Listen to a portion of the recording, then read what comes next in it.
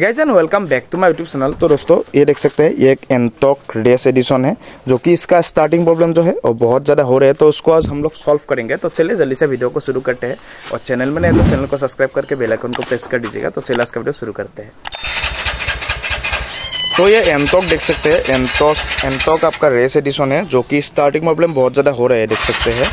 गाड़ी एकदम ही स्टार्ट नहीं हो रहा है। तो इसको आज हम लोग सॉल्व करेंगे। सॉल्व करने के लिए हम लोग डिक्की को खोल लेंगे पहले। तो जल्दी से इसको खोल कर लेते हैं। यह है अभी कनेक्शन को खोलेंगे। देख सकते हैं डिक्की को और पैनल को हम लोगों ने खोल लिया है। अभी प्लग को पहले देखेंगे, क्योंकि ज़्यादातर स्टार्टिंग प्रॉब्लम जो है, वो प्लग के वजह से ही होते हैं। तो प्लग को पहले खोल के एक बार चेक कर लेते हैं प्लग से ठीक है कि नहीं। और इधर में देख सकते हैं इंजन ऑयल का लीकेज का भी प्रॉब्लम है तो उसको बाद में सॉल्व करेंगे अभी। आपका प्लग को देखते हैं। और प्लग को खोलने के लिए एक स्पेशल टूल की ज़रूरत है, जो कि मैंने आप लोगों को बहुत बार बताई है। तो अभी इसको खोल कर लेते हैं।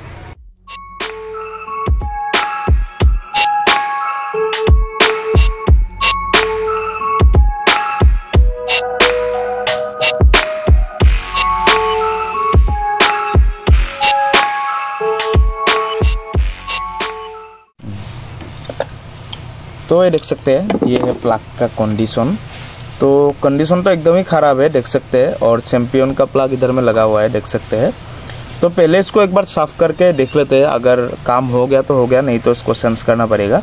तो अभी इसको साफ़ करके लगाते हैं, और आपका भी गाड़ी का स्टार्टिंग बहुत ज़्यादा प्रॉब्लम हो रहा है तो आप भी पहले प्लग को चेक करना। ये वाला प्लग था चैम्पियन का और अभी हम लोग यूज़ कर रहे हैं एन का प्लाग क्योंकि एन का बेस्ट प्लाग रहते हैं और मेरे पास एक थोड़ा अच्छा सा प्लाग था तो इसको साफ़ करके अच्छे से अभी लगा देंगे साफ़ कर दिया है पूरा, देख सकते हैं, अभी इसको लगा देंगे और लगाने के बाद एक बार स्टार्ट करके देखेंगे, अगर प्रॉब्लम सॉल्व हो गया तो हो गया, नहीं तो बाकी सब चीज़ जो है उसको देखना पड़ेगा।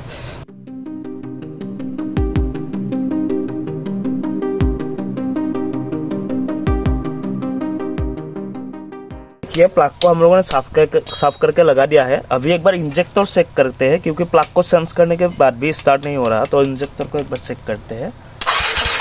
तो देख सकते हैं इंजेक्टर से आपका तेल जो है वो सप्लाई नहीं हो रहा, देख सकते हैं।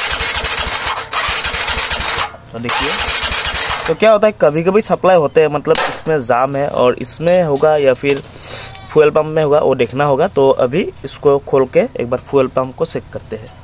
तो ये देख सकते हैं इंजेक्टर को भी हम लोगों ने खोल लिया है और इंजेक्टर से फ्यूल जो है वो सप्लाई नहीं हो रहा कभी कभी सप्लाई होता है, जिसकी वजह से गाड़ी कभी कभी स्टार्ट होते हैं।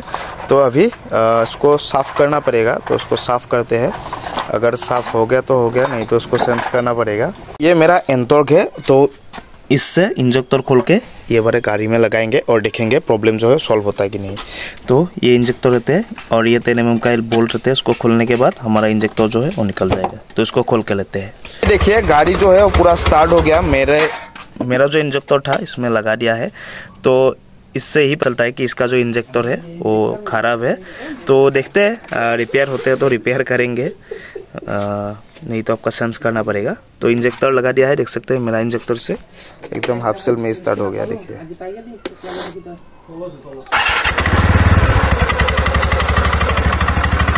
स्टार्ट हो गया, देखिए। तो अभी देखिए इंजेक्टर को हम लोगों ने पूरा साफ़ कर दिया है और वीडियो को प्लीज़ एक लाइक कर देना और बहुत लोगों के साथ ऐसा प्रॉब्लम होते हैं इंजेक्टर जो है गंदा हो जाता है, जिसकी वजह से गाड़ी जो है स्टार्टिंग प्रॉब्लम बहुत ज़्यादा करते हैं। तो इसलिए वीडियो को ज़्यादा से ज़्यादा शेयर करना और चैनल को सब्सक्राइब नहीं किया तो कर देना।